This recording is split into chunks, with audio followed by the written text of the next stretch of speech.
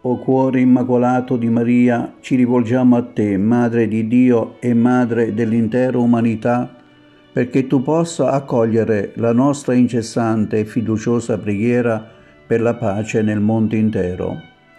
Ti affidiamo, Maria, la Russia e l'Ucraina, di cui tu sei la regina, e la madre premurosa di ogni tuo figlio di queste martoriate terre dove oggi si combatte una sanguinosa guerra come alle nozze di Cana e lungo la via del Calvario, chiedi a Gesù il dono della pace per l'intera umanità e fa che nell'Ucraina tacciano i rumori della guerra, si fermi la strage degli innocenti, si ritorni a vivere in amicizia tra russi e ucraini.